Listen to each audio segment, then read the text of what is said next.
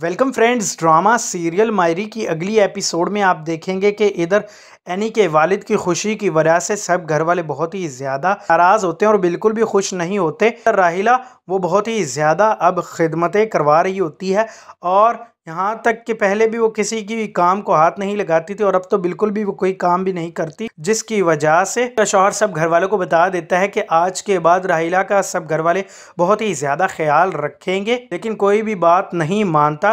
खैर, इधर आगे आप ये भी देखेंगे कि एनी वो बहुत ही ज़्यादा परेशान होती है क्योंकि वो अपनी तालीम को मुसलसल कंप्लीट नहीं कर पा रही होती। इसी चीज़ का उसको बहुत ही ज़्यादा दुख होता है और दूसरी तरफ़ आखिर वो उसका बिल्कुल भी साथ नहीं देता। ज़िम्मेदारियों को संभालने के हवाले से वो बिल्कुल कोताही करता रहता है बार बार इसी तरह से इधर आप ये भी देखेंगे कि जमशेद अब कारोबार को अच्छी तरह से संभाल लेता है, जिसके बाद काफ़ी हद तक उन्हें मुनाफा भी होने लगता है और फिर फ़ाखिर की अम्मी को बहुत ही ज़्यादा खुशी होती है।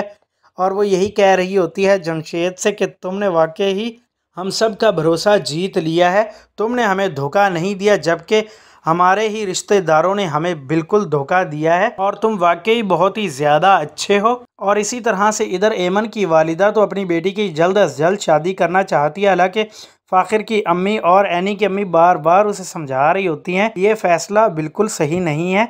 तुम्हें कुछ सोचना चाहिए और अगर कोई अच्छा सा रिश्ता मिले, तब ज़रूर सोचो।